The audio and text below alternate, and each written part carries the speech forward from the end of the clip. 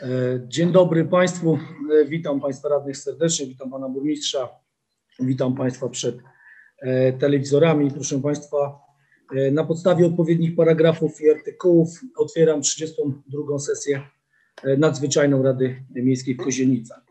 Proszę Państwa, proponowany porządek sesji nadzwyczajnej, punkt pierwszy otwarcie obrad, punkt drugi podjęcie uchwał w sprawie. 2.1 zwolnienie z opłat za korzystanie ze zezwoleń e, na sprzedaż napojów alkoholowych przeznaczonych do sprzedaży w miejscu sprzedaży za rok 2021 przedsiębiorców prowadzących punkty sprzedaży na terenie gminy Kozinice i zwrotu tej opłaty.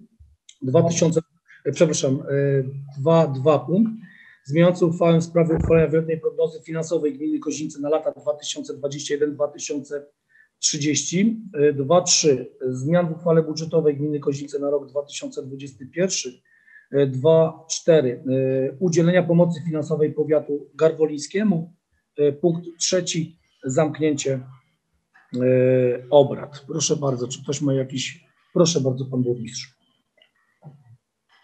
Proszę Państwa, tylko może y, słuchać mnie? E, słówko wyjaśnienia, dlaczego e, poprosiłem Pana Przewodniczącego o zwołanie tej sesji, głównie z powodu dwóch uchwał, 2.1 e, i 2.4. Oczywiście finansowe w trakcie też doszły, ale głównie te dwie pierwsze. Pierwsze, jak Państwo wiecie, ja opowiem szczegóły już przy omawianiu uchwały, chodziło o szybką reakcję. 26 stycznia weszły w życie przepisy, które pozwalają nam troszeczkę pomóc lokalnym przedsiębiorcom, czyli zwolnić z opłat lub odroczyć te opłaty w zakresie alkoholu. Ponieważ to jest 26 stycznia, więc jak Państwo sami wiecie, dzisiaj mamy początek lutego, jest niewiele. Natomiast miałem już telefony od osób zainteresowanych, od mieszkańców, od przedsiębiorców, czy gmina e, no, podejmie takie działania i ewentualnie kiedy, no bo wiadomo, że w obecnym momencie e, każdy ruch się liczy pomocy dla nich też. E, chodzi nam tutaj o przedsiębiorców, którzy prowadzą tą sprzedaż alkoholu poza do spożycia w miejscu, w miejscu sprzedaży, czyli głównie restauracje, hotele, o tego typu rzeczy. To nie obejmuje sklepów, gdzie sprzedaż jest na wynos. Y, więc y, dlatego ta sesja, żebyśmy nie odciągali y, na miesiąc czy na dwa, jak Państwo wiecie, oni płacą raty trzy razy w ciągu roku, pod warunkiem, że mają pozwolenie na cały rok. I tutaj będziemy omawiali tą uchwałę, jeżeli Wysoka Rada będzie, mówię, procedowała. Druga kwestia, pomoc finansowa powiatowi garwolińskiemu pan starosta tu bardzo zabiegał, prosił o e, szybkie podjęcie działań. Jak Państwo wiecie, podpisana została umowa na projekt mostu na Wiśle, ale na dzień dzisiejszy e, całość zobowiązań wziął na siebie powiat garwoliński jako lider projektu, natomiast my mieliśmy takie porozumienie wstępne podpisane, że też będziemy partycypowali w udziale finansowym. Wstępnie taką zgodę wyraziliśmy, bo miałem taką zgodę od Państwa radnych Natomiast teraz już przesłano konkrety, takie już będzie trzeba szybko podpisać umowę dotacyjną. Yy, I też miałem prośbę taką, żeby to do przyszłego tygodnia najpóźniej yy, no, mieć możliwość podpisania. Yy, porozumienie ja dostałem już w tym tygodniu na początku, natomiast po ocenie pana mecenasa wynikła kwestia taka, że potrzebna jest wasza uchwała dodatkowa o pomocy. W związku z tym, y, dlatego ta sesja jeszcze y, zwołana teraz, bo jak Państwo wiecie, kwestie finansowe wstępnie zabezpieczaliście w budżetach, natomiast teraz je doprecyzowujemy i podejmujemy uchwałę o pomocy finansowej właśnie w zakresie tej inwestycji. Jeżeli y, Wysoka Rada zaakceptuje tą pomoc i podejmie taką uchwałę, no to ja prawdopodobnie w przyszłym tygodniu podjadę i podpiszę te dokumenty. Aby ten proces usprawnić, starosta garwoliński, każdy samorząd potraktował indywidualnie, czyli będziemy podpisywali oddzielnie tą pomoc finansową, po to, żeby no nie czekać ewentualnie na sesję kolejnej rady czy kolejnego podmiotu. Y, my jako Kozinice kwotę, którą mamy, będziemy omawiali y, w, y, w trakcie tej sesji przy uchwałach. One są na dzień dzisiejszy proporcjonalnie rozdzielone na wszystkich w jednakowych kwotach. Na cztery samorządy, czyli gmina Kozinice, gmina Maciejowice, powiat kozinicki, powiat garwoliński. Tak się to kształtuje na chwilę obecną. Y, to te dwie uchwały jakby były głównym e, źródłem zwołania tej sesji i jej szybkości. W trakcie doszło jeszcze kwestia e, rozstrzygnięcia przetargów na e, dwie, trzy inwestycje, które też tutaj czas i kwoty od, odgrywają znaczącą rolę, dlatego pozwoliłem sobie tutaj z panią skarbnik na wniesienie ich do porządku obrad i prosiłbym, żeby Wysoka Rada procedowała. Tutaj wszystkie wyjaśnienia w trakcie uchwał, oczywiście pytania będę odpowiadał. E, ale mówię, żebyście Państwo wiedzieli, że e, ta sesja była głównie zwołana, mówię, z uwagi na powiat garwoliński i na zwolnienie naszych przedsiębiorców z tych opłat alkoholowych. Oczywiście, jeżeli Państwo zaakceptujecie, bo decyzja należy do Państwa, ja jestem od tego, żeby przygotować projekt uchwały i przedstawić ją pod obrady Wysokiej Rady. To może tak informacyjnie. Dziękuję bardzo. Pan Marcin Ogórek tam zgłaszał się radny. Natomiast ja mam pytanie takie do pana Marcina, czy to jest kwestia pro- e, proponowanego porządku sesji, czy może pytanie do którejś z uchwał? Jeżeli do którejś z Nie, uchwał, nie, to chodzi mi o proponowany porządek sesji, bo w dokumentach tak? w punkcie y, zamknięcia obrad mamy punkt czwarty, nie ma punktu trzeciego. A E, pan przewodniczący przepis przeczytał to jako punkt trzeci. Nie wiem, czy to jest Ja- błąd ja- w wydruku, czy Nie, nie, po ja prostu- mam, chyba macie błąd w wydruku, ja mam po prostu punkt e, trzeci. Dwa, cztery Nie, mam. mamy trzeci. Ja też trzeci mam. Tak, Ja też mam trzeci. No to widocznie ja miałem błąd w wydruku. Dobrze, dziękuję. nie, tutaj tak, że mamy punkt e, trzeci, zamknięcie obrad. Dobrze, proszę Państwa, w takim razie uchwała e, 2.1, zwolnienie z opłat za korzystanie z zwolnienia ze sprzedaży napojów alkoholowych przeznaczonych do sprzedaży w miejscu e, sprzedaży na, za rok 2021 przedsiębiorców prowadzących punkty sprzedaży na terenie gminy Kozienice i zwrotu tej opłaty. Prosimy Pana Burmistrza Piotra Kozłowskiego o zreferowanie, proszę. Uchwała Rady Miejskiej w Kozienicach w sprawie zwolnienia z opłaty za korzystanie z zezwoleń na sprzedaż napojów alkoholowych przeznaczonych do spożycia w miejscu sprzedaży za rok 2021 przedsiębiorców prowadzących punkty sprzedaży na terenie gminy Kozienice i zwrotu tej opłaty. Na podstawie wymienionych artykułów prawnych Rada Miejska w Kozienicach uchwala co następuje. Paragraf pierwszy, ustęp pierwszy zwalnia się przedsiębiorców prowadzących punkty sprzedaży na terenie gminy Kozienice z opłaty, o której mowa w artykule 11 punkt 1 ustęp 1 ustawy z dnia 26 października 1982 roku o wychowaniu w trzeźwości i przeciwdziałaniu alkoholizmowi za korzystanie ze ze zezwoleń, przepraszam, na sprzedaż nap- napojów alkoholowych przeznaczonych do spożycia w miejscu sprzedaży należnej w 2021 roku. E, Ustęp drugi. Zwolnienie, o którym mowa w ustępie pierwszym dotyczy drugiej i trzeciej raty opłaty za korzystanie z zezwoleń na sprzedaż napojów alkoholowych należnej w 2021 roku. Paragraf drugi przyznaje się zwrot części pobranej opłaty za korzystanie z zezwoleń na sprzedaż napojów alkoholowych przeznaczonych do spożycia w miejscu sprzedaży należnej w 2021 roku w wysokości odpowiadającej 2 trzecie opłaty rocznej tym przedsiębiorcom prowadzącym punkty sprzedaży na terenie gminy Kozienice, które w terminie do 31 stycznia 2021 roku wnieśli opłatę jednorazowo. Paragraf 3. Wykonanie uchwały powierza się burmistrzowi gminy Kozienice. Paragraf 4. Uchwała wchodzi w życie po upływie 14 dni od dnia ogłoszenia w Dzienniku Urzędowym Województwa Mazowieckiego. I tu, jeżeli mogę, Panie Przewodniczący, dwa słowa wyjaśnień. Proszę Państwa, intencją była e, zwolnienie z drugiej trzeciej raty, e, czyli jakby całkowite e, zwolnienie z opłat, e, aby osoby nie płaciły. Natomiast zgodnie z ustawą e, ci, którzy opłacali cały rok jednorazowo, robili to do 31 stycznia.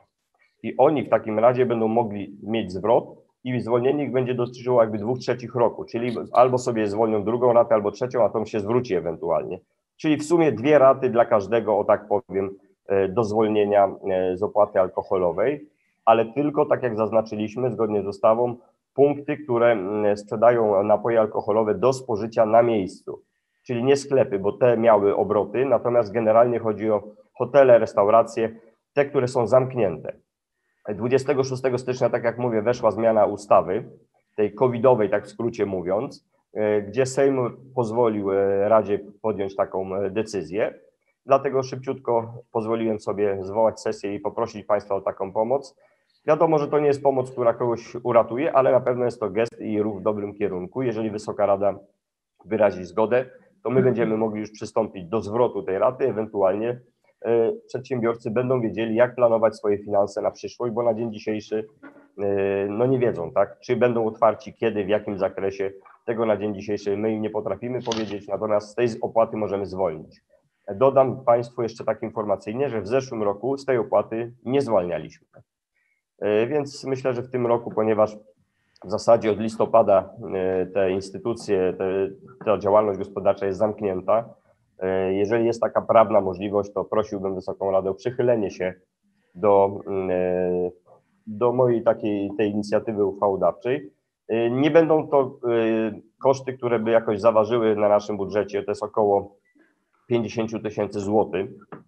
E, bo mówimy tylko o tych przedsiębiorcach, którzy, mówię, sprzedają na miejscu do spożycia. E, Więc jeżeli będą skorzystali, dla nich to będzie jakaś pomoc, natomiast my będziemy starali sobie to zaoszczędzić w innych wydatkach bieżących, bo tak jak mówiłem, e, kwestie pieniędzy, jakie będziemy ewentualnie generowali z zewnątrz, chciałbym przeznaczać za zgodą Wysokiej Rady na inwestycje, żebyśmy jak najwięcej inwestowali i temu też będą służyły kolejne uchwały, o które będziemy omawiali. Może tyle, jak będą pytania, Panie Przewodniczący, to jestem do dyspozycji. E, Dziękuję bardzo. Proszę bardzo Pani Radna Kondula, proszę. Dziękuję Panie Przewodniczący. Panie Burmistrzu, mam takie pytanie w związku z tą e, uchwałą, którą Pan proponuje. A ja oczywiście zagłosuję za, bo ja jestem za wszelką pomocą ludziom, którzy nie mogli prowadzić działalności i wiadomo, że e, w jakimś sensie te ich e, majątki są zgromadzone, czy też opłaty, które muszą ponosić naruszone. W związku z tym zagłosuję. Tylko czy jest Pan w stanie teraz powiedzieć, odpowiedzieć mi na pytanie, czy zna Pan ilość grupy ludzi, y, jaka zostanie objęta tą pomocą przez tą uchwałę. Proszę Panie Burmistrzu. To znaczy, y, liczby nie patrzyłem tylko kwotowo, jak mówię, to jest około 50 tysięcy, więc to będzie, To nie są duże pieniądze. y, myślę, że kilka, kilkanaście podmiotów prowadzących y, taką Rozumiem. działalność na terenie naszej gminy, bo oczywiście tylko o terenie naszej gminy mówimy. Jest to też, dodam, najdalej idąca pomoc, którą uchwała, y, ustawa pozwala, bo moglibyśmy tylko przedłużyć termin zapłaty, tak? Y, Natomiast my jakby zwalniamy całkowicie, więc jest to Mhm. najszersza pomoc, jaką w tej chwili możemy zaproponować w tym zakresie. Dziękuję Dziękuję bardzo. Proszę bardzo Pan Radny Mariusz Ptaszek. Proszę o głos, bo mikrofon Panie Radny. O, teraz. Panie Przewodniczący, Wysoka Rado, Panie Burmistrzu. E, Podstawą wyliczenia opłaty za tak zwaną koncesję to jest e, w trzech etapach. Osobna jest na tak zwane piwo, na wino, bo to jest od, e, od alkoholu, od procentu alkoholu, to jest trzy i wódka. Żeby uzyskać taką opłatę, każdy, który sprzedaje alkohol bez względu czy na miejscu go sprzedaje, czy w sklepie, musi w styczniu wypełnić oświadczenia z poprzedniego roku miesięczne obroty y, z sprzedaży. I teraz moje zapytanie, pan burmistrz już wie, bo ci niektórzy nawet już zapłacili za rok, tak jak to jest w ustawie jednorazowo, bo mieli takie prawo, niektórzy sobie rozłożyli na, na raty. Y, W związku z tym, po tym złożeniu, to jest już pan burmistrz wie, czy dużo takich osób y, im zmalały te obroty, czy bo w tej uchwale pomagamy wszystkim, tym, którzy nie mieli tych obrotów, czyli stracili, tym, którzy jakoś się utrzymali, tym, którzy zyskali, bo może tacy byli. Proszę. Dobrze. E, Co do szczegółów poproszę zaraz, e, jak pan przewodniczący Proszę, panią proszę. burmistrz. Natomiast musimy wiedzieć, że ustawa, bo my działamy na podstawie ustawy, mówi wyraźnie, że zwolnienia nie stosuje się do sprzedaży napojów alkoholowych przeznaczonych do spożycia poza miejscem sprzedaży, czyli nie stosuje się do sklepu. Ustawodawca pozwolił nam tylko do tych, którzy są na, ter- y, mają to spożycie, że tak powiem, na miejscu. Czyli generalnie chodzi mi hotele, restauracje, te, które zgodnie z ustawą mają zakaz działalności. Y, One w zeszłym roku miały chwilę, że tak powiem, uwolnienia, tak, bo tam były restauracje, natomiast to jest za rok 21 i o tym roku mówimy, bo na ten zwalniamy. Na dzień dzisiejszy one są zamknięte i ustawodawca uznał, że taka forma pomocy jest właściwa. Natomiast y, co do szczegółów zapytam zaraz panią burmistrz, bo to jej y, pion, Y, Jakby pan przewodniczący może pozwolił. Tak, oczywiście. Proszę bardzo Pani Burmistrz. E, Szanowni radni, chętnie oczywiście wyjaśnię szczegóły. Jeśli chodzi o ilość punktów, których e, będzie to dotyczyło, to na pewno poniżej 30, około 27-28 punktów działających na terenie gminy. E, Są to punkty głównie, tak jak pan burmistrz powiedział, są to restauracje, które były zamknięte i bary, e, no i hotele oczywiście. Wszystkie te punkty, które mają wydaną właśnie taką koncesję na sprzedaż w miejscu. Jeśli chodzi o, mm, pan radny Mariusz Ptaszek pytał o e, skalę e, czy te oświadczenia są w dużo niższych kwotach niż w roku poprzednim. Jeśli chodzi o te punkty, o których aktualnie teraz rozmawiamy, e, to tak naprawdę nie możemy tego stwierdzić, dlatego że są to e, jednostki, są to firmy, które płacą tą najniższą stawkę zazwyczaj ze względu na obroty, na sprzedaż, bo e, oczywiście koncesja jest uzależniona po prostu od, od obrotów. I to jest ta skala, o której pan burmistrz powiedział, w granicach 50 tysięcy tych dwudziestu kilku podmiotów. Tak to wygląda. Dziękuję bardzo. Proszę bardzo, czy jeszcze mamy jakieś pytania? Proszę bardzo, pan radny Mariusz Ptaszek. Dziękuję bardzo. Panie Przewodniczący, Wysoka Rado, Pani Burmistrz. Ja wszystko rozumiem, tylko że e, tu z ustawą pomagamy tym, ale niektórzy prowadzili działalność i że mieli sprzedaż na przykład na miejscu. Też mogli to na wynos, bo jak ktoś kupi w opakowaniu, wyniesie, nikt nic nie zrobi. I zapewne są takie e, te hotele czy tam restauracje, które mia miały z tego zyski. Im też pomagamy. No okej, okay, ale pomagamy wtedy takim, co nie mieli. No i tu trochę tak nie ma spójności tym kierunku, ja tu mówię. Mhm. Proszę, może pan burmistrz jeszcze słowo. E, panie Mariuszu, ale to już mówimy o takich działaniach nielegalnych, bo jeżeli ma sprzedaż na e, miejscu, to tak sprzedaje. To tak jak pan w sklepie ma sprzedaż na wynos, Słuchać mnie? E, na wynos, a ktoś spożyje, że tak powiem, w sklepie. No to jest to nielegalne, to wtedy można stracić koncesję. E, więc o takich przypadkach mówię, my nie mamy jakichś informacji, natomiast mówimy o przypadkach legalnych. Jeżeli jest koncesja na sprzedaż e, napojów alkoholowych do spożycia na miejscu, to tylko taki podmiot dostaje zwolnienie. Natomiast jeżeli sprzedaż do spożycia poza miejscem, czyli głównie sklepy, no to taki nie dostaje. I tu już ustawodawca określił nam ramy, nie, nie wprowadził też żadnych e, kryteriów, obostrzeń, czyli tak jak Pan mówi, taki obrót był w zeszłym roku, czy, czy taki był, bo w tym roku nie mają żadnego obrotu, bo nie mają działalności. Natomiast e, i, my e, zwalniamy z opłat za ten rok, nie za zeszły. Natomiast czy były jakieś? Być może były, tak jak Pan mówi, bo mówię, zeszły rok częściowo mieliśmy w okresie letnim obluzowanie tych obostrzeń. Natomiast ustawodawca nie wprowadza takiego kryterium i my takiego nie możemy. Jeżeli takie możemy, to wtedy wprowadzamy, tak jak robiliśmy przy podatku od nieruchomości. Natomiast opłata e, ustawodawca nam zwolnił w zasadzie, znaczy dał możliwość zwolnienia lub odroczenia, ewentualnie zwolnienia częściowego. I w tym się poruszamy, tak? I napisał wyraźnie w artykule 33 ZZCA tej ustawy, że dotyczy to tylko sprzedaży do spożycia na miejscu. I, i tyle. No. I my się w tym poruszamy. Ja rozumiem Pana e, wątpliwości, tak, czy ten zarobił tyle, czy, czy tyle, no ale mówię, tego nie możemy analizować, bo nawet nie mamy takich kompetencji w chwili obecnej na podstawie tego artykułu, jakim działamy. Dziękuję bardzo. Proszę Pani Radna Alicja Kordula. Dziękuję bardzo. E, panie Burmistrzu, ja mam w związku z tym e, wątpliwości, które tutaj Pan Mariusz Ptaszek wypowiadał, to mam takie pytanie. E, chodzi mi o to, że e, czy e, właściwie mam pytanie dotyczące, czy zwolnienie będzie na podstawie jakichś złożonych dokumentów, żeby rozwiać to panu radnemu, e, że to jest rzeczywiście prawilne. Tak jak zresztą pan powiedział, że no nielegalnych e, mm, sprzedaży my nie jesteśmy w stanie wyłapać i nie możemy tutaj ingerować w to. E, natomiast mm, chodzi mi o to, czy zwolnienie będzie tylko na, na bazie tej uchwały, którą tutaj pan proponuje, czy też będą musieli składać jakieś dokumenty celem pozyskania takiego zwolnienia. Mogę? Proszę bardzo, panie burmistrzu. Nie, tutaj wystarczy uchwała państwa, e, natomiast dokumenty musi złożyć ten, e, który już zapłacił za cały rok i zwrot chce, prawda? To mhm. wtedy tą część zwracamy. Natomiast tutaj, jeżeli osoba, która ma wydaną koncesję na sprzedaż alkoholu, e, gdzie spożywa się na miejscu, bo to mamy przecież w pozwoleniu, to jeżeli nie zapłaci, to my go, że tak powiem, nie ganiamy, tak? Kolokwialnie mhm. mówiąc czyli po prostu nie płaci. Ale my mamy wykaz, tak jak pani burmistrz powiedziała, to jest konkretna liczba podmiotów, konkretne przedsiębiorstwa i my wiemy kto. E, jeżeli, zapłaci, jeżeli nie zapłaci ten, kto nie jest zwolniony, no to oczywiście podejmiemy działania prawem przewidziane, czyli wezwiemy do zapłaty. Są to tak małe pieniądze, myślę, że tutaj dochodzeń nie ma co robić. Dobrze, dziękuję bardzo. Dziękuję bardzo. E, proszę bardzo, pan radny Mariusz Ptaszek. Panie Przewodniczący, Wysoka Rado, Panie Burmistrzu, zupełnie bo y, ten musi złożyć, kto wpłacił za cały rok.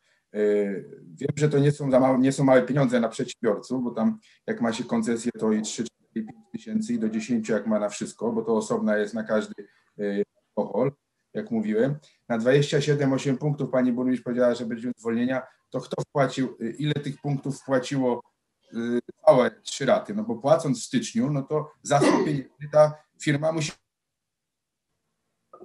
Panie radny, coś pana przerwało w tym Właściwie momencie. E, Prosiłbym powtórzyć pytanie, wyłączyć sobie może e, obraz, to wtedy będzie e, mniej tego. O i teraz poprosiłbym, bo Chodzi o to, że te 27-8 punktów miało ulgę, a z tych 27-8 punktów muszą złożyć ci o zwolnienie, którzy zapłacili już na cały rok. Y, Płacąc na cały rok, to ja domniemuję, że ta firma ma dochody, że już zapłaciła za cały rok, a nie rozłożyła się w ratach. To jest pierwsze pytanie. A drugie, y, czy my, jak będzie te 50 tysięcy, 60, może 40 mniej, to pan burmistrz jak planuje to w w budżecie, czyli mniej będzie tam środków y, tego korkowego, czy my będziemy z własnych środków dokładać tą brakującą część pieniędzy? proszę pan burmistrz może. E, To znaczy, proszę Państwa, e, ci, co złożyli, też tu poproszę Pani Burmistrz później szczegółowszych informacji udzieli. E, Natomiast z tym planowaniem to jest różnie, wie Pan, no, przedsiębiorca czasami zadłuży się, żeby nie, nie być, że tak powiem, z odsetkami ciągany. Poza tym on wie, że jak nie zapłaci, no to odebranie koncesji to jest często upadek takiej działalności, no bo umówmy się, często hotel czy ktoś, kto ma restaurację, a nie proponuje żadnego alkoholu, no to spada jego, że tak powiem, atrakcyjność na rynku. E, Więc oni pewnie gotowi byli z, mieć zaległości cywilnoprawne niż tutaj z zakresu opłaty e, alkoholowej, w cudzysłowie mówiąc. Natomiast kwestie budżetowe rozmawialiśmy tu z panią e, skarbnik. Myślę, że sobie poradzimy. Tak jak mówiłem, to co będziemy generowali oszczędności będziemy przeznaczali na inwestycje, natomiast z wydatków bieżących nie będziemy ich zwiększali tam, gdzie nie musimy, bo wiadomo, jeżeli kwestia wynagrodzeń nauczycieli czy oświaty e, wróci do nas jak co roku, no to będziemy musieli zwiększyć, natomiast inne rzeczy będziemy starali sobie e, tak e, zaplanować, żebyście Państwo wiedzieli, że nie będziemy się dodatkowo zadłużać, o tak powiem, na ten cel, bo rozumiem, że o to Panu radnemu chodzi. Dziękuję bardzo. Może jeszcze w ramach uzupełnienia proszę panią burmistrz. E, Drodzy Państwo, jeśli chodzi o te, działa- te podmioty, które opłacały koncesję, to myślę, że tak około połowa płaciła jednorazowo. E, Dlaczego tak robią przedsiębiorcy? Często, no ciężko mi jest powiedzieć, tak? Może jakieś tam e, są powody, może takie organizacyjne, tak jak Pan Burmistrz powiedział, że łatwiej jest czasem zapłacić w koncesję w pełnej wysokości e, jednorazowo, niż później pilnować tych dat, tym bardziej, że one się nie nakładają z żadnymi podatkami. E, To nie są kwartalne opłaty, tylko są zupełnie w innych datach, bo pierwsza rata jest do końca stycznia, później do końca e, maja i później do końca września. To też e, ciężko jest czasem o tym e, pamiętać. Dobrze pan radny Ptaszek mówi, że rzeczywiście te opłaty są dosyć wysokie, ale one są wysokie raczej w sklepach, dlatego że opłata jest uzależniona od e, wartości sprzedaży w całym roku i tak jest właśnie naliczana. Jeżeli ktoś nie przekracza tych e, opłat z ustawy, to po prostu jest naliczana zgodnie, znaczy jest stawka minimalna, także wtedy nie przekracza to nawet 3000 zł, nie 10, nie 15, a 3. E, Także myślę, że mm, dla podmiotu, który prowadzi działalność, żeby mieć święty spokój, można tak powiedzieć kolokwialnie, przez cały rok, jest w stanie to e, zapłacić e, jednorazowo. Ale tutaj może w uzupełnieniu jeszcze chodzi o opłaty i te 50 tysięcy, czy będzie to 40 tysięcy, to jeśli chodzi o działalność w tym zakresie, bo wiadomo, że te środki muszą być wydatkowane na profilaktykę związaną z, ze spożyciem tego alkoholu, to naprawdę nie w skali 600 tysięcy, jakie pobieramy, właściwie ponad, e, nie wpłynie nam znacząco, jeśli chodzi o te działania, które mamy w, zaplanowane w programie przeciwdziałania alkoholizmowi. Dziękuję bardzo. E, Proszę bardzo, czy jeszcze ktoś ma jakieś uwagi, pytania co do uchwały? Dziękuję bardzo. Nie widzę. W takim razie poddaję uchwałę pod głosowanie. Proszę bardzo, kto jest za przyjęciem uchwały, kto jest przeciw, kto się wstrzymał.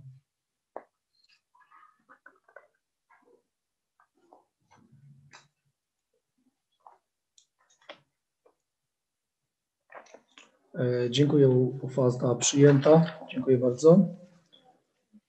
E, Proszę Państwa, uchwała e, 2.2 zmieniająca uchwałę w sprawie uchwalenia wieloletniej prognozy finansowej gminy Kozińce e, na lata 2021-2030 i prosimy Panią Skarbnik Monikę Makulec-Soboty. Proszę bardzo, Pani Skarbnik.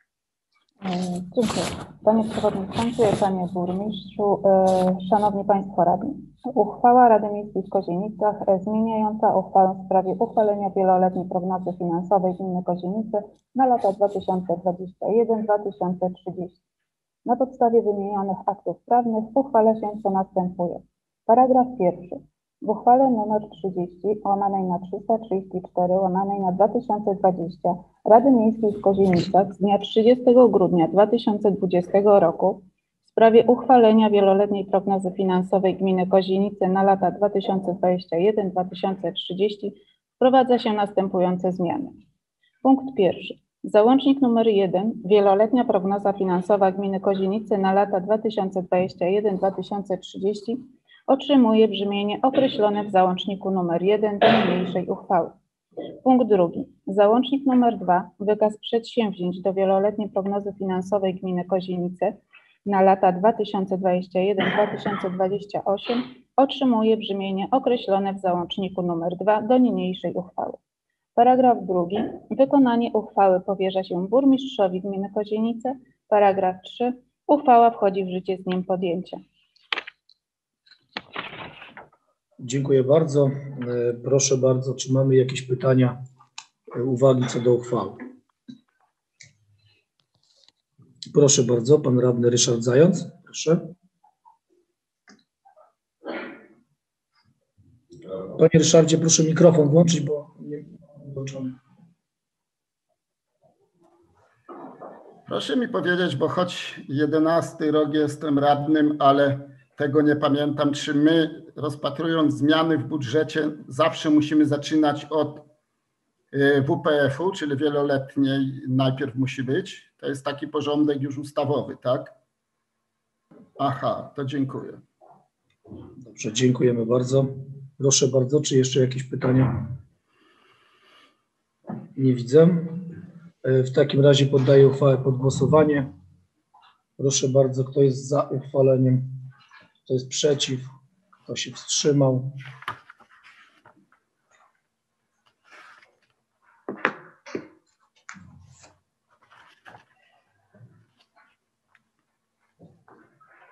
Proszę jeszcze pan Arkadiusz. Pan radny Arkadiusz.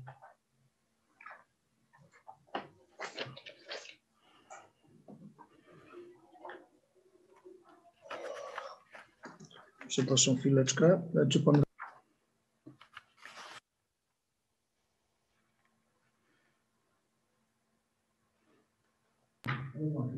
E, Włączę się? Jest, o. Tak, chwileczkę poczekamy, bo pan Arkadiusza wyrzuciło. O, jest pan Arkadiusz. Panie Arkadiuszu, proszę ponowić głosowanie. Okej. Prosimy, mamy. Dobrze, dziękuję bardzo. Uchwała została przyjęta. E, Proszę Państwa, uchwała 2.3. Zmiany w uchwale budżetowej Gminy Kozienice na rok 2021 i również prosimy Panią e, Skarbnik. Proszę bardzo. Szanowni Państwo, uchwała Rady Miejskiej w Kozienicach w sprawie zmian w uchwale budżetowej gminy Kozienice na rok 2021. Na podstawie wymienionych aktów prawnych wprowadza się następujące zmiany. Paragraf pierwszy.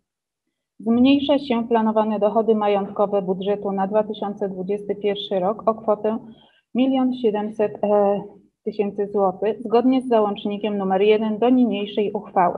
Zwiększa się planowane wydatki majątkowe budżetu na 2021 rok o kwotę 1 727 839 zł zgodnie z załącznikiem nr 2 do niniejszej uchwały. Zwiększa się przychody ogółem budżetu na 2021 rok o kwotę 3 427 839 zł zgodnie z załącznikiem nr 4 do niniejszej uchwały. Paragraf drugi.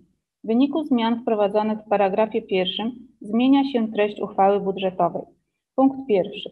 Paragraf pierwszy punkt pierwszy otrzymuje brzmienie. Ustala się dochody w łącznej kwocie 192 miliony 541 432 zł i z tego bieżące w kwocie 186 milionów 520 172 zł i majątkowe 6 milionów 21 260 zł. Dochody związane z realizacją zadań zleconych z zakresu administracji rządowej i innych zleconych jednostce samorządu terytorialnego odrębnymi ustawami wynoszą 36 milionów 910 tysięcy 739 zł. Punkt drugi. Paragraf pierwszy, punkt e, drugi otrzymuje brzmienie. Ustala się wydatki w łącznej kwocie 203 miliony 738 tysięcy 960 zł i z tego wydatki, e, wydatki bieżące w kwocie 179 milionów 700 tysięcy 557 zł i wydatki majątkowe w kwocie 24 miliony 38 tysięcy 403 zł. Wydatki związane z realizacją zadań zleconych z zakresu administracji rządowej i innych zleconych jednostce samorządu terytorialnego odrębnymi ustawami wynoszą 36 milionów 910 tysięcy 739 zł. Punkt trzeci. Paragraf drugi, punkt pierwszy i punkt drugi otrzymują brzmienie. Ustala się deficyt budżetowy jako różnicę między dochodami a wydatkami w wysokości 11 milionów 197 tysięcy 528 zł, który zostanie sfinansowany przychodami pochodzącymi z niewykorzystanych środków pieniężnych na rachunku bieżącym budżetu wynikających z rozliczenia dochodów i wydatków nimi sfinansowanych, związanych ze szczególnymi zasadami wykonywania budżetu określonymi w odrębnych ustawach w kwocie 3 miliony 263 159 zł i wolnych środków w kwocie 7 milionów 934 369 zł. Ustala się przychody budżetu w kwocie 13 milionów 536 528 zł z następujących tytułów. Wolnych środków w kwocie 10 milionów 273 369 zł, niewykorzystanych środków pieniężnych na rachunku bieżącym budżetu wynikających z rozliczenia dochodów i wydatków nimi sfinansowanych, związanych ze, szczególną, ze szczególnymi zasadami wykonywania budżetu określonymi w odrębnych ustawach w kwocie 3 263 159 zł. Paragraf trzeci. W wyniku zmian wprowadzonych w tabeli nr 2 do uchwały budżetowej na 2021 rok Wprowadza się zmiany w tabeli nr 3 do uchwały budżetowej na 2021 rok wydatki inwestycyjne gminy Kozienice zgodnie z załącznikiem nr 3 do niniejszej uchwały. W wyniku zmian wprowadzonych w tabeli nr 2 wprowadza się zmiany w załączniku nr 1 do uchwały budżetowej zgodnie z załącznikiem nr 5 do niniejszej uchwały. Paragraf 4. Wykonanie uchwały powierza się burmistrzowi gminy Kozienice. Uchwała wchodzi w życie z dniem podjęcia i obowiązuje w roku budżetowym 2021. Dziękuję. E, Dziękuję bardzo. E, Proszę bardzo, pan burmistrz w sprawie. Proszę Państwa, może e, kilka słów wyjaśnienia dla Państwa, ale także dla mieszkańców.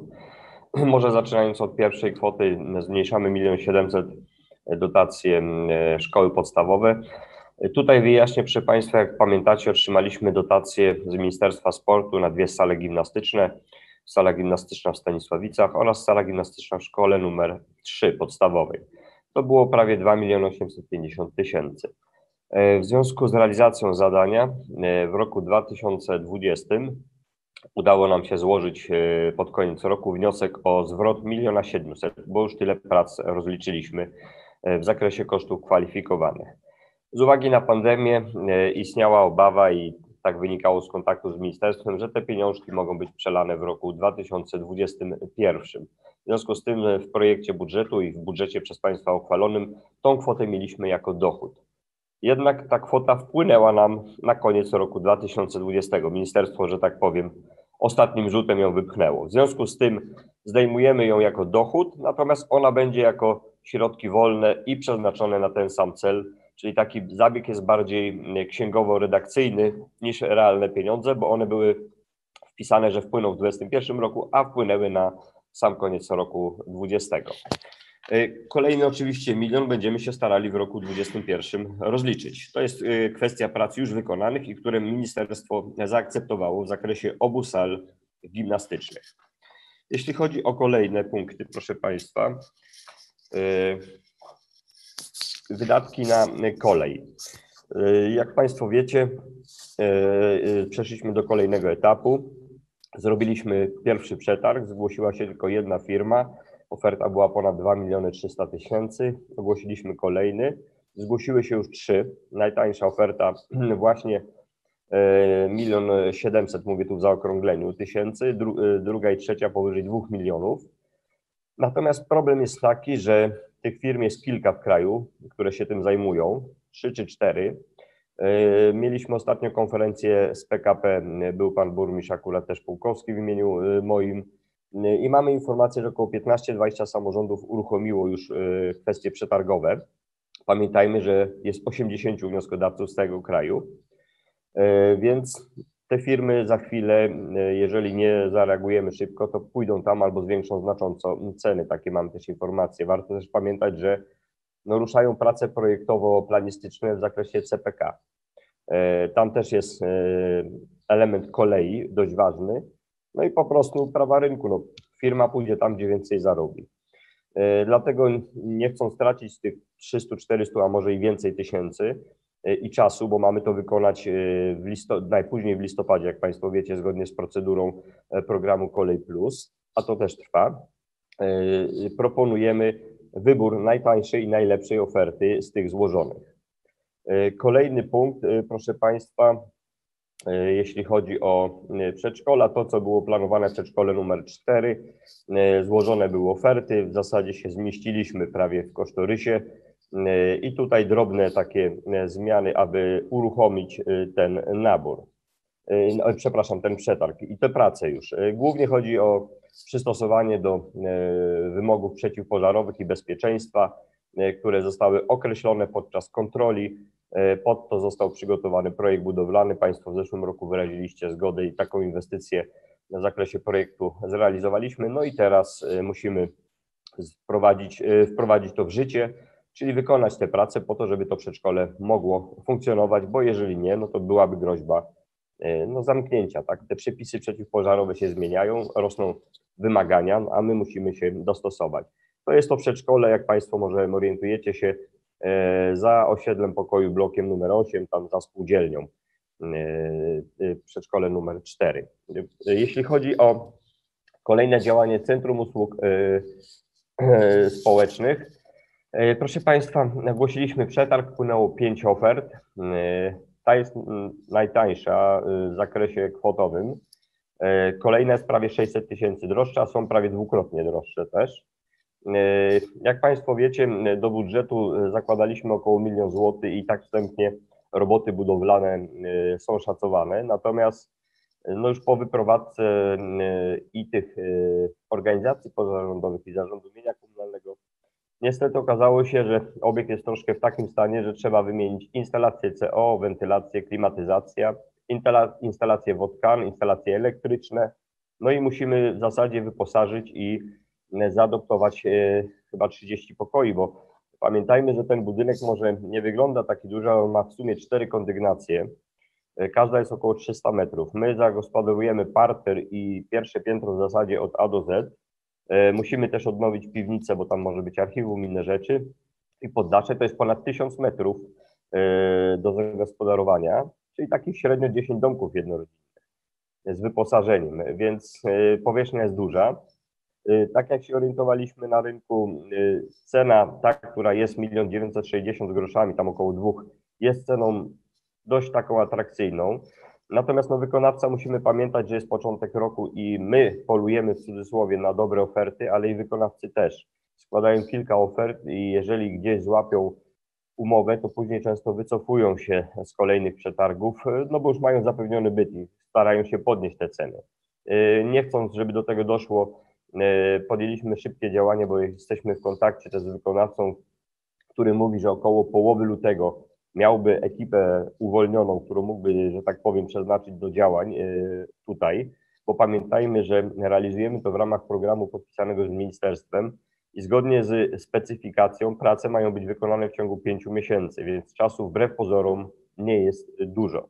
Natomiast robimy ten budynek na wiele lat. Yy, Będzie, że tak powiem, mocno wykorzystywany przez mieszkańców, bo to, jak Państwo wiecie, nie tylko pomoc socjalna, ale także e, świadczenia rodzinne 500 plus i wiele, wiele innych usług, także tych, które będziemy realizowali w ramach tego programu rządowego, na który otrzymaliśmy 3 miliony.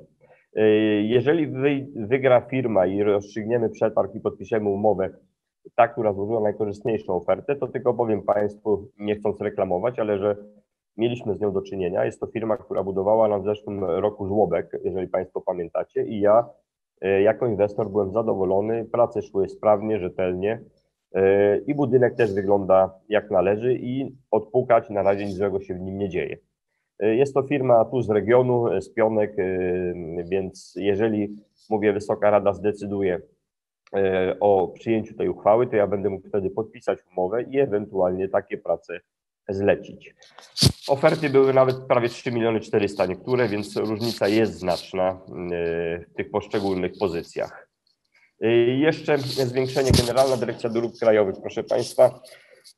Rozmawialiśmy e, z Państwem, ale także mieszkańcy sygnalizowali kwestia skrzyżowania, na którym zakończyła się inwestycja. Chodzi Legionów Piłsudskiego i Głowaczowska. Tam, jak Państwo wiecie, mieszkańcy zgłaszają, co też się potwierdza ostatnio, no problemy z bezpieczeństwem. E, Z czego to wynika, to już powiedzmy nie, nie, nie będziemy teraz analizować, ale rzeczywiście dochodzi do kolizji, do wypadków. E, Rozważaliśmy różne warianty. Jeśli chodzi o rondo, proszę Państwa, e, rozmawialiśmy też z Generalną Dyrekcją Dróg Krajowych, ale proszę pamiętać, że jeżeli byśmy chcieli zachować osie jezdni, które są teraz, przy tej kategorii dróg musiałoby być e, wybudowane rondo co najmniej średnie. Średnio oznacza, że średnica jest między 41 a 65 metrów. Co to oznacza w naszej, e, że tak powiem, rzeczywistości? Chociażby wyburzenie domu i wywłaszczenie.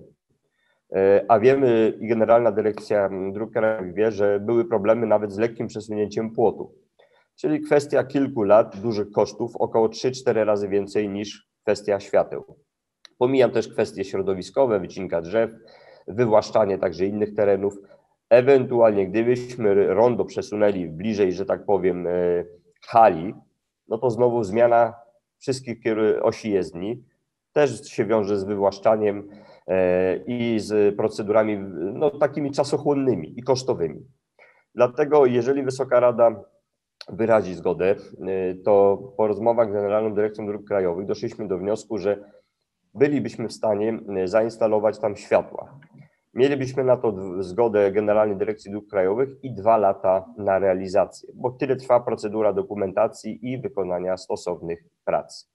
Y, Na dzień dzisiejszy realizowalibyśmy to y, własnymi siłami, natomiast tutaj jestem w kontakcie, w rozmowie, że prawdopodobnie byłaby szansa w ciągu tych dwóch lat y, jakiś udział dodatkowy Generalnej Dyrekcji Dróg Krajowych tej lub innej inwestycji na terenie naszej gminy zrealizować, tak żebyśmy wszyscy byli dodatkowo zadowoleni. Natomiast dzięki temu, że Państwo byście przyjęli y, te zmiany, a ja bym podpisał stosowne dokumenty, moglibyśmy już rozpocząć te prace w tym roku dokumentacyjne. No i mówię, w przyszłym roku ewentualnie, jeżeli Państwo y, zgodzicie się, to byśmy mogli wykonać tą inwestycję. E, Bo mówię, ruch się będzie zwiększał. Jeżeli też zamkniemy niedługo Radomską w jakimś zakresie, tak, pójdzie droga krajowa w stronę Aleksandrówki, no to podejrzewam, że e, tą trasą ruch też będzie się zwiększał. A poza tym osiedle Borki też coraz większe. 11 listopada e, wyremontowaliśmy, ruch się zwiększa, więc ta przepustowość tego skrzyżowania i bezpieczeństwo przede wszystkim no, powinny być zwiększone. Jeżeli Państwo zaakceptujecie, mówię, takie rozwiązania, to mam taką wstępną rozmowę z panem dyrektorem, że byłby skłonny przystać na naszą propozycję y, i pójść w tym kierunku. To chyba z takich większych tych działań tyle. Jeżeli będą oczywiście pytania, uwagi, to jestem do Państwa dyspozycji. Dziękuję bardzo. Proszę bardzo, pan radny Stanisław Kuźna. Y, Panie Przewodniczący, Szanowna Rado, Panie Burmistrzu, ja mam w zasadzie dwa pytania takie. Pierwsze pytanie dotyczy adaptacji pomieszczeń tego Centrum Usług Społecznych. Obserwując tak z przebiegu już dłuższego, y, no ten budynek tośmy sobie wzięli za karę po tym byłym WKU, bo y, robimy ciągle tam inwestycje, wkładamy w nieskończoność. Y, Myślę i byłem od początku przeciwny tej zamianie, która została zrobiona pomiędzy właścicielem, y, byłym właścicielem tego budynku WKU, a y, gminą za poprzednich kadencji. Y, Ciągle dokładamy chyba ja nie wiem, dużo lepiej by było, gdybyśmy nowy budynek byli w tym miejscu postawili, który by spełniał dużo lepsze usługi, natomiast remontować tą ruinę no, będziemy chyba w nieskończoność, jak się okazuje. Tam ciągle się zmieniają właściciele, bo wcześniej były różne organizacje inne, teraz znowu będzie inne. I mam takie pytanie, bo dokładamy tych pieniążków coraz więcej. Obiecywane było, że mieliśmy mieć milion, za milion złotych zrobimy, teraz już jest milion siedemset. I jeszcze kolejne pytanie, czy to już jest koniec tych, tych y, finansów, które tam mamy wkładać, czy jeszcze y, może być taka sytuacja, że będziemy kolejne pieniążki zabezpieczać, a dalej jak było to w stanie takim, no jakim to jest, ten budynek to wiemy, bo to są lata jeszcze, początki lat chyba y, XIX, y, XX raczej wieku, także tam dość starawy ten budynek jest. No i tutaj to jest moje pierwsze pytanie. Drugie pytanie, drugie pytanie moje dotyczy y, y, tej inwestycji, to znaczy y, tych świateł, które Pan tutaj zaproponuje. Jeżeli projekt ma kosztować 100 tysięcy złotych, a zakładamy w przyszłym roku 350 tysięcy na wykonanie, te proporcje jakoś jako y, obserwując mniej więcej, że te projekty przeważnie kosztują 10%, jakoś nie bardzo mi się tutaj zgadzają. I czy to jest dobrze przemyślane, czy te pieniążki w taki sposób, że ten projekt musi aż kosztować 100 tysięcy, a y, po prostu wykonanie tylko 350, czy nie będziemy zmuszeni kolejnych y, po prostu odsłonach dokładać tych pieniążków, żeby to, to oświetlenie zrobić. Bo no, mówię, że jako y, mając trochę doświadczenia w inwestycjach, wydaje mi się, że y, troszeczkę tutaj mamy złe proporcje, ale to może nie ktoś by się wypowiedział, czy pan, czy to było w jakiś sposób przemyślane i takie pieniążki są, zostały założone na, te, na tą inwestycję. Dziękuję. Dziękuję bardzo. Proszę bardzo, pan burmistrz. E, Szanowni Państwo, jeśli chodzi o Centrum Usług Społecznych, no kwestia przejęcia, jak Państwo wiecie, już nie jest moją kwestią, tak? E, Mamy stan zastany, tak? Czy to było słuszne, czy nie? E, Ja już nie będę na dzisiejszej sesji dyskutował. Musimy przystosować budynek do tego, żeby służył naszym mieszkańcom i pracownikom, bo to jest 60 ponad pracowników, pamiętajmy o tym. E, Nawet więcej, bo to będzie Centrum Usług Społecznych, więc nie tylko MOPS, ale będzie służby ogólnie społeczne skupiał z całej gminy e, duża liczba też interesantów. E, Jeśli chodzi o dokładanie, proszę Państwa, kosztory jest, my mieliśmy kosztory z chyba 29 czy 28 grudnia. On jest ponad 2 miliony 100 tysięcy, to tu jest taniej. Natomiast to, co ja do projektu Państwu dawałem, to nie mieliśmy żadnego kosztorysu, tylko wstępnie patrzyliśmy na pracę, e, roboty budowlane, czyli elewacje, takie rzeczy. I to mniej więcej kosztuje około miliona. Natomiast w trakcie jak opróżnienia budynku i wejścia osób, które się na tym znają, bo ja nie mam uprawnień, okazało się, że w zasadzie trzeba wymieniać, tak jak podałem, wszystkie sieci, tak, instalacje. Więc to będziemy wymieniali. Czy inne rzeczy nie będzie trzeba? Ja panu nie gwarantuję na dzień dzisiejszy. Y, Z tego, co patrzyli specjaliści, tak tutaj, którzy się znają, y, na dzień dzisiejszy na przykład zostawiamy y, piec centralnego ogrzewania, ale ile on wytrzyma, zobaczymy. Natomiast ja liczę na to, że jeżeli by coś się z nim działo w ciągu kilku lat, to być może oddzielnym wnioskiem o dotację byśmy wtedy go mogli wymienić na coś lepszego. Ale już sam piec, bo instalacje będą wymienione. Z tego, co mówią osoby, które mówię, jest projektant, są u nas pracownicy, którzy mają uprawnienia budowlane, mówią, że na dzień dzisiejszy te prace powinny dać nam troszeczkę wytchnienia na kilka lat. Na ile, tak jak mówię, zobaczymy, bo jak Państwo wiecie, życie bywa bogatsze, więc tutaj się nie chce, e, że tak powiem, zaklinać na wszystko, że nic się nie będzie działo i będzie wszystko dobrze, bo nie, nie mam też uprawnień budowlanych, a i, z, a i z tym bywa różnie, tak, że życie bywa, mówię, jak bogatsze. Chcemy, żeby to było zrobione sensownie, żeby z jednej strony pozwalało pracować e, w godnych warunkach, ale także obsługiwać ludzi, e, tych, którzy przyjdą w godnych warunkach i bezpiecznych, tak, żebyśmy byli wszyscy zadowoleni jako mieszkańcy z tego obiektu.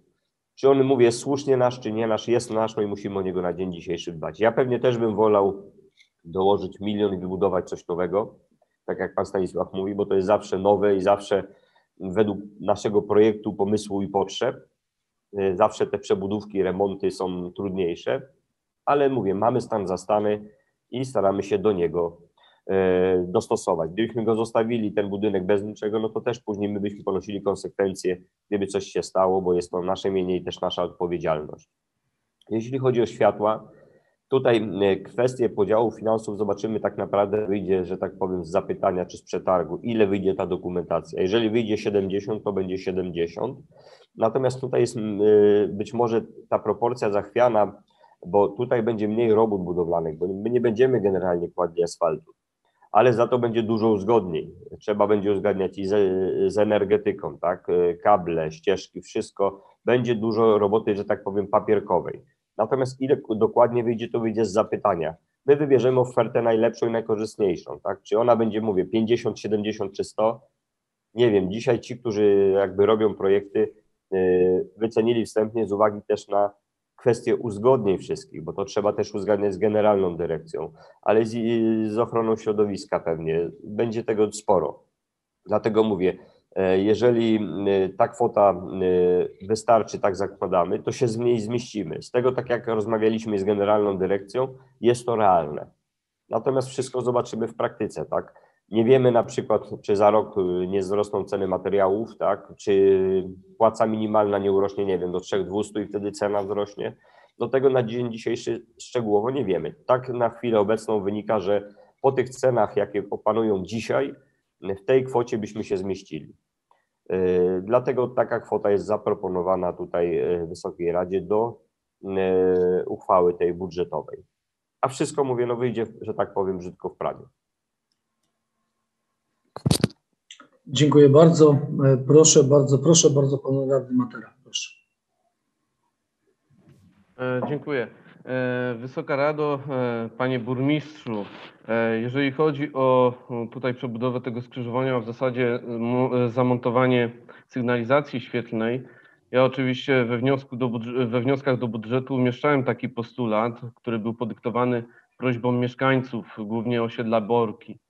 E, Oczywiście z, musimy zdawać sobie sprawę, że e, oprócz wydatków musimy patrzeć też na komfort e, korzystania z ulic tego miasta, prawda?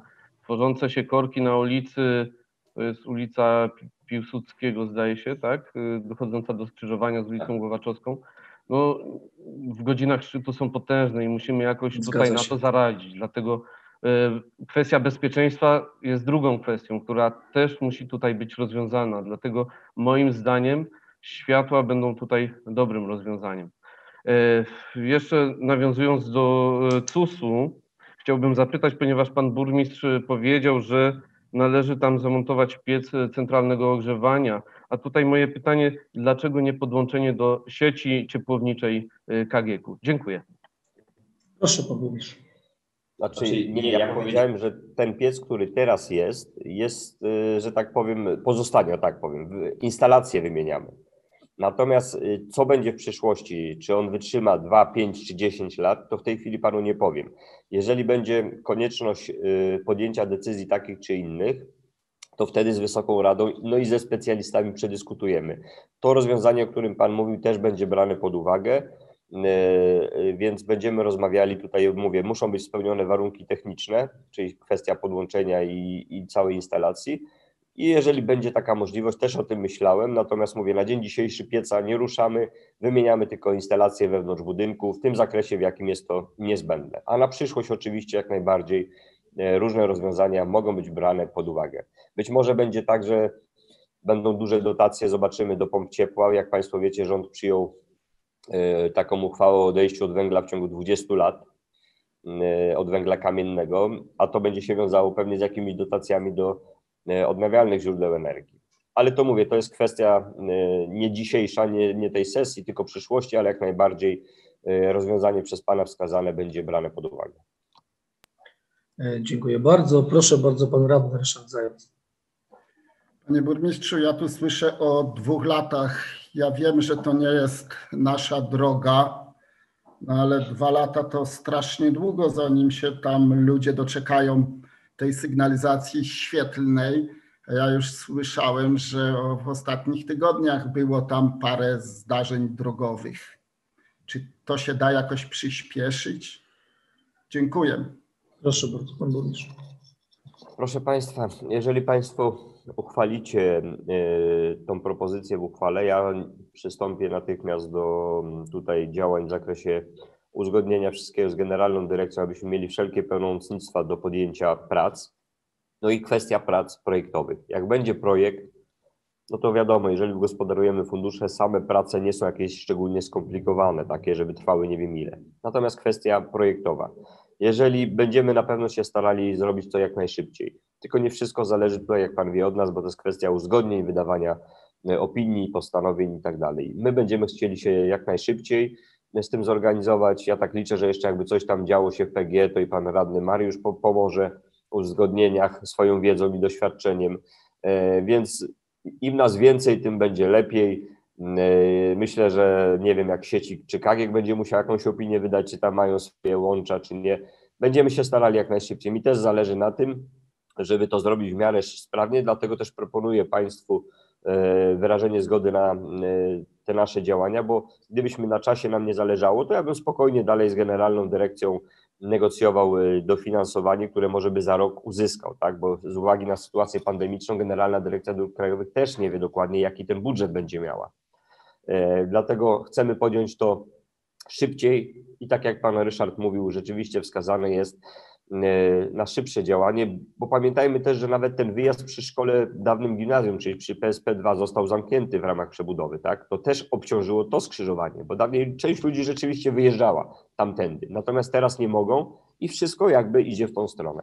Więc chcemy, zależy nam na czasie. Jeżeli pozwoli nam budżet i dokumenty, to ja też wystąpię do Rady o przesunięcie na przykład i wykonanie tej inwestycji w tym roku, ale to dopiero jak będą dokumenty, no i ewentualnie pieniądze. Dziękuję bardzo. Proszę bardzo, pan radny Andrzej Gogacz. Panie Przewodniczący, Państwo Radni, Panie Burmistrzu, no aczkolwiek chyba dzisiaj nie ma bardziej skrzyżowania potrzebującego świateł niż to skrzyżowanie Legionów Piłsudskiego Gołaczeska. Nie budzi wątpliwości, chyba za to wszyscy jesteśmy przekonani. Przede wszystkim podziękować Panu Burmistrzowi, że się zaangażował w tą kwestię, to jest sprawa pierwsza. No i oczywiście wiadomo, pilotować i jak najszybciej zrobić, bo problem jest wielki. Szkoda, że tego nie, nie udało się zrobić wcześniej przy przebudowie, no ale to się już stało i to się nam pewność nie odstanie. Na nas oczywiście ciąży obowiązek tym się zająć jak najszybciej, tutaj bardzo dobrze. Natomiast my miejmy na uwadze jeszcze jedną rzecz. Dzisiaj są, jest taki budżet, jaki jest. Nie wiem, jaki będzie budżet w, w trakcie pandemii, jak będzie działała generalna dyrekcja, więc dzisiaj jak najszybciej mamy ustalenia zrobić to. No i to po prostu niech funkcjonuje dla dobra ludzi. Także decyzja bardzo trafna mi się wydaje i, i uzasadniona oczywiście i wymagająca dosyć szybkiej, szybkiej reakcji i szybkiego wykonawstwa. Dziękuję. Dziękuję bardzo. Tym bardziej, że tam funkcjonuje szkoła. Ta część na Głowaczowską tej ulicy A została to nie też ulega wątpliwości, więc dzieci i tak, tak, dalej. więc wszyscy tutaj będą- dzieci do szkoły, także gra jest po prostu naprawdę, tak, to może sytuacja jest już nabrzmiała. pan burmistrz, Ja proszę też jeszcze. tylko przypominam, że funkcjonuje szkoła, ale my też w projekcie mamy tam przedszkole. I w ciągu pewnie najbliższych lat y, jest y, potencjalnie możliwość wybudowania, więc to też zwiększy obciążenie tego skrzyżowania. Dziękuję bardzo. Proszę bardzo, pan radny Marcin Ogórek.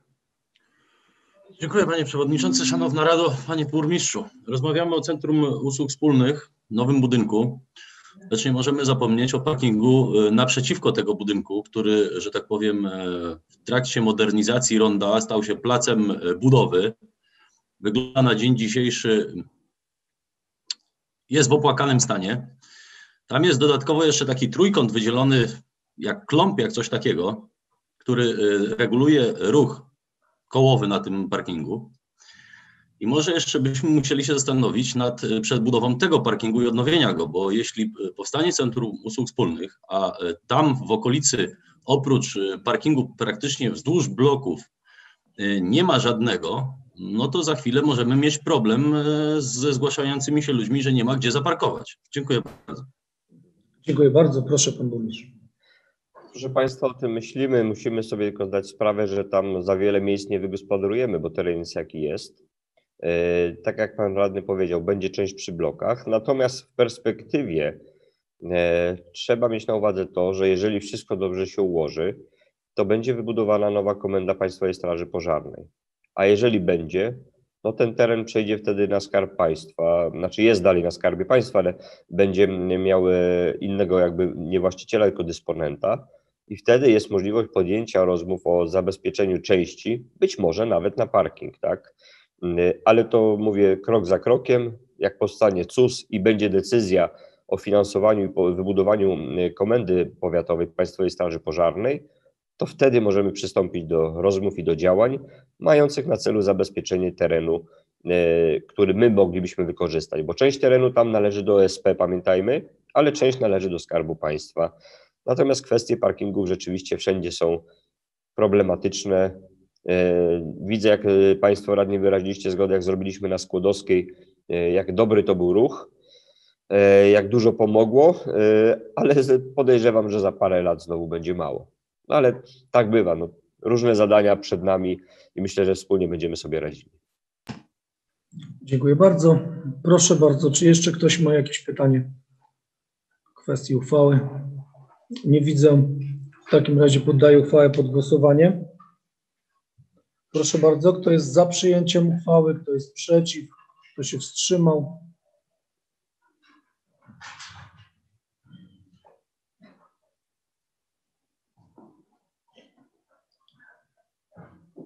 Proszę bardzo, jeszcze pani Alicja nie zagłosowała, pan Marek i pan Grzegorz tutaj.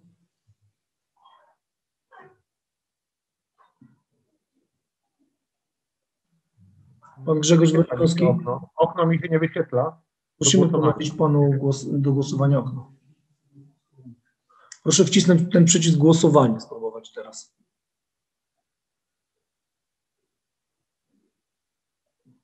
Nie pomaga. O, Mhm. dobrze. Poszło? Okej, a pan, pan Marek?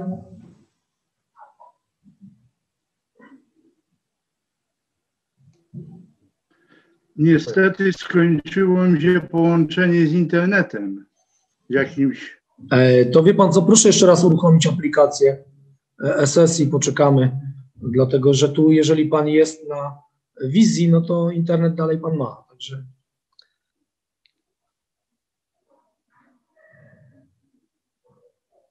poczekamy, proszę spokojnie, bo to czasami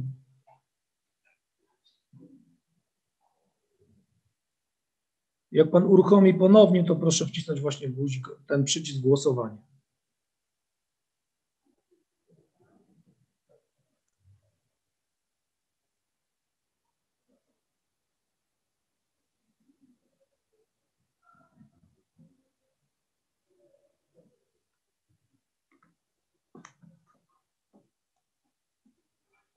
Pan Marek się waha.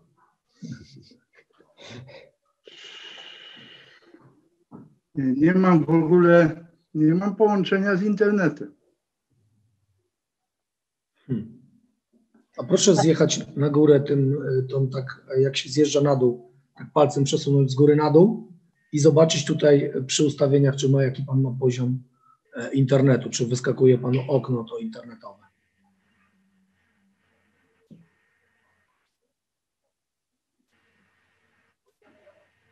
Jak nie, to będzie głosujący. Panie Przewodniczący, ja proponuję, że może odpuśćmy Panu Markowi to głosowanie i tak ma będzie. Poczekajmy, poczekajmy, pan Marek zaraz tutaj może się uda, proszę chwileczkę poczekać.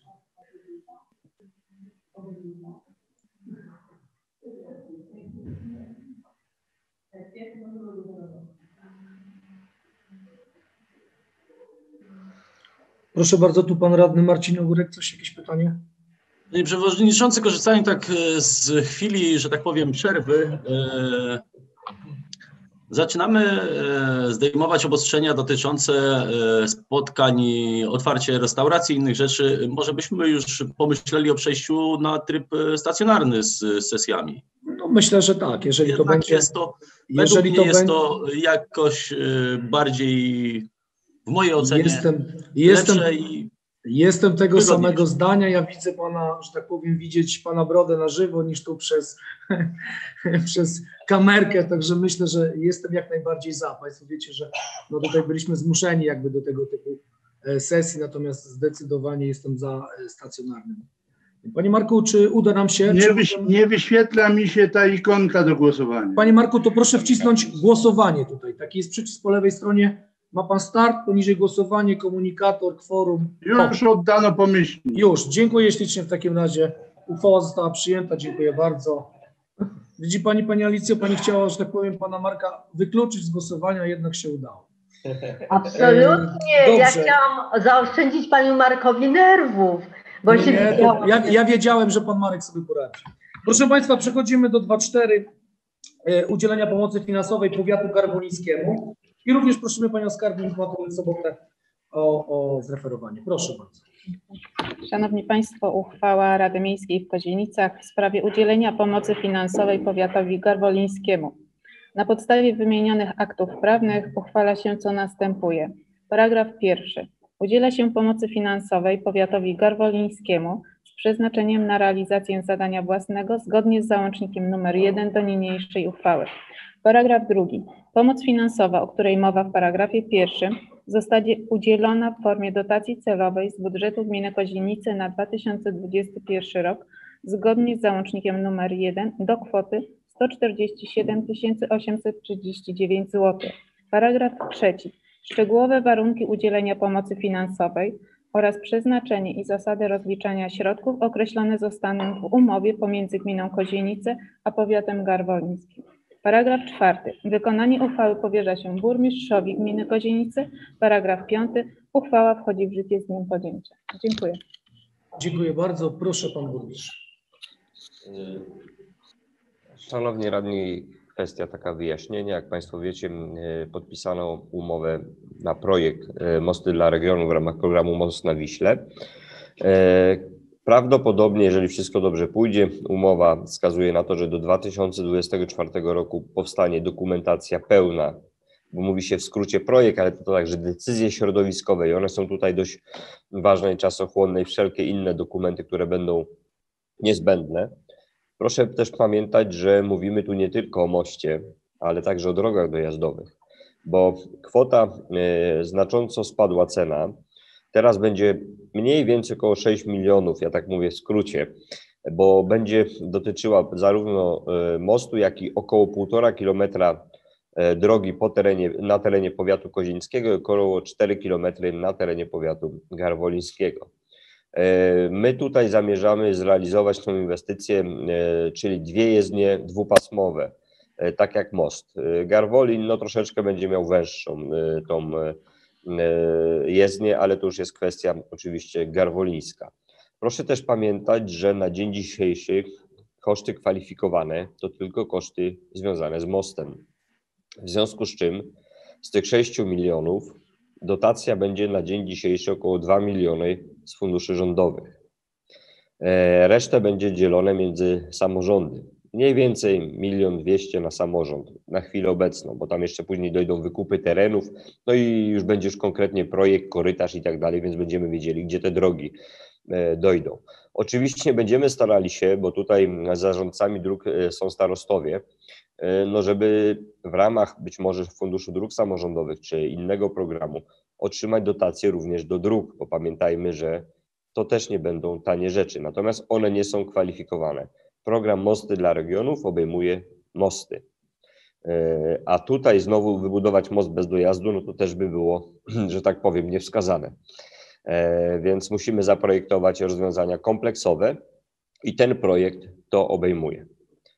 E, Mam nadzieję, mówię tu, liderem jest powiat garwoliński, natomiast z nami jest to też konsultowane, ustalane.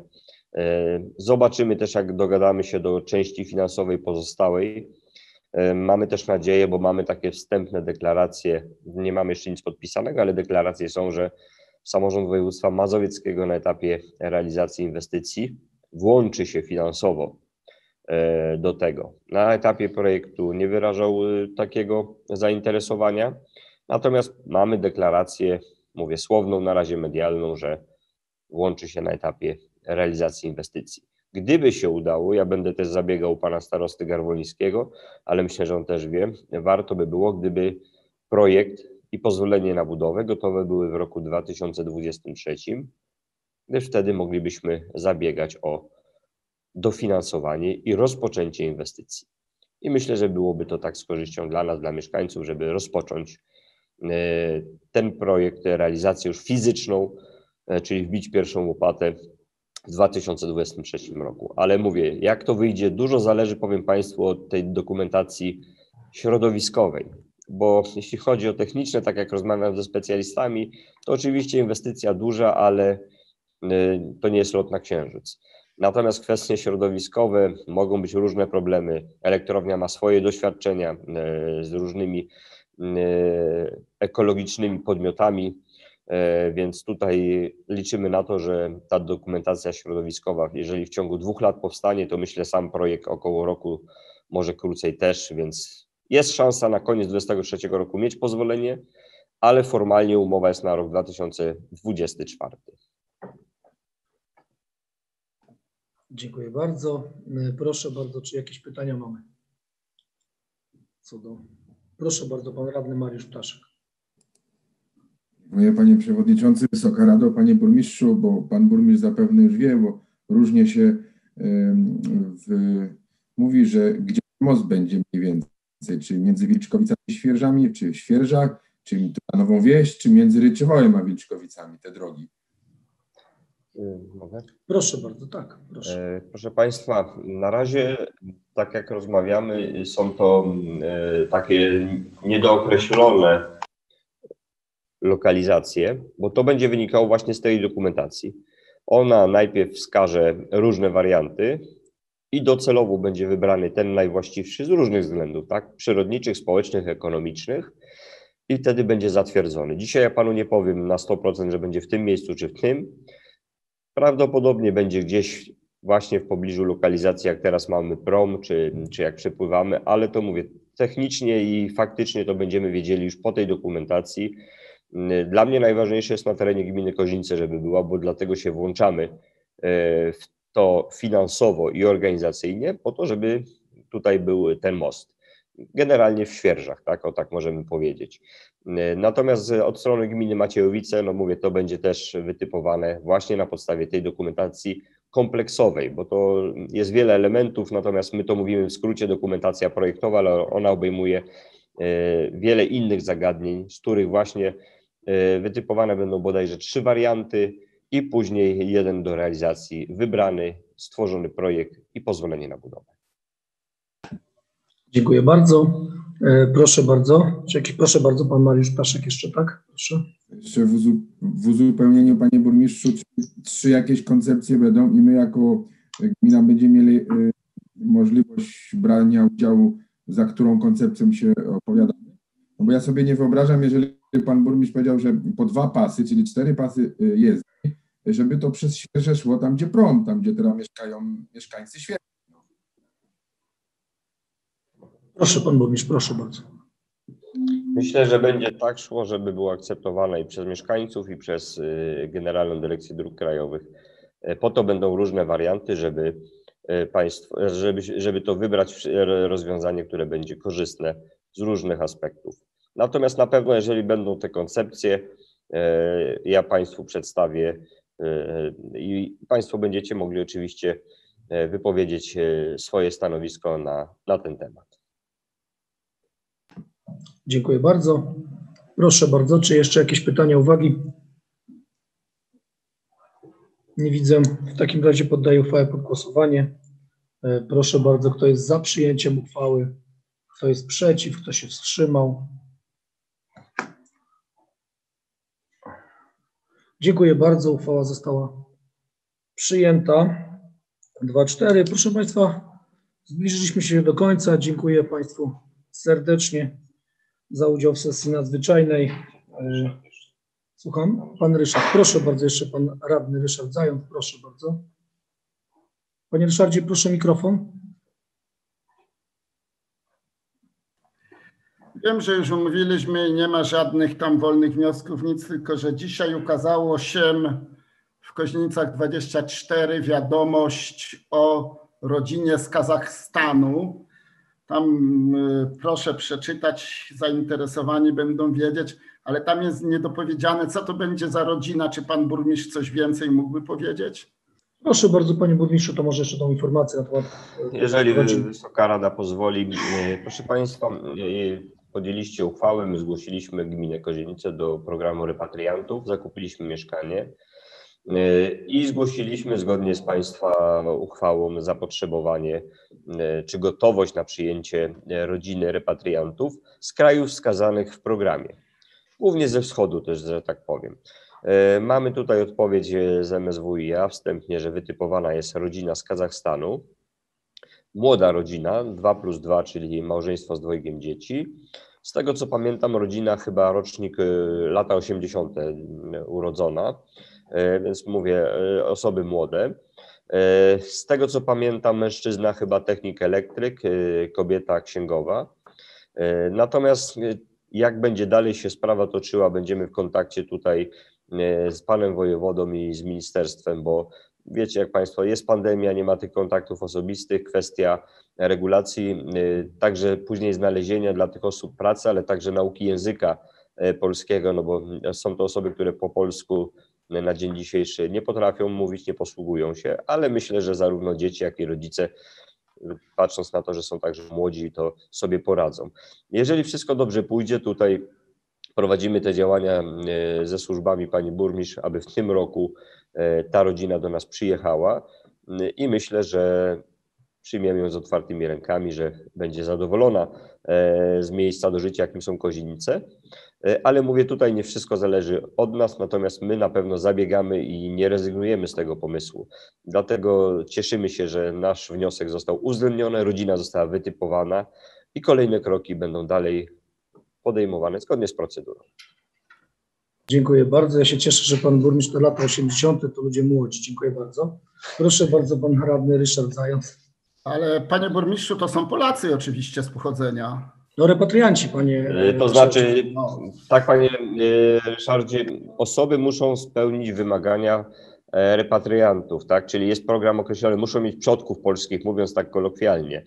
E, Owszem, te nazwiska akurat, które do nas dotarły, może nie są do końca polsko brzmiące, e, ale na pewno osoby spełniają e, wymagania, mają przodków polskich. Wiadomo, że przez tyle lat związki małżeńskie i tam te nazwiska się zmieniają, nie zawsze jest skicki na końcu, ale mówię, osoby spełniają wymagania, bo to ministerstwo nam typuje z tej grupy repatriantów, którzy mają dokumenty.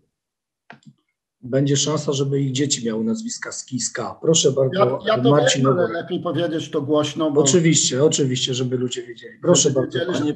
Panie Przewodniczący, ja odnoszę takie e, wrażenie, że kolega Ryszard e, dosyć usilnie dopytuje, jest, patrząc na jego, e, że tak powiem, doświadczenie zawodowe jako nauczyciela, mamy I w sumie ich trzech, no to jako praca dodatkowa nauka języka polskiego jak najbardziej. I wyniki, i wyniki, które pan Ryszard ta szkoła Dokładnie tak. otrzymała ostatnio, także tak. No i pamiętajmy, że mieszkanie jest na Polesiu, to obwód szkoły, zespół szkół później. Tak. I jeszcze, może. jeszcze, jeszcze jeden z sąsiadów to jest nasz radny, także tam język też mógłby szkolić z sąsiadem. Akurat jedyny język, który dobrze znam, to rosyjski. O. I to się pięknie składa. Dobrze, proszę Państwa, e, no cóż, dziękuję Państwu, bardzo dobraliśmy do końca.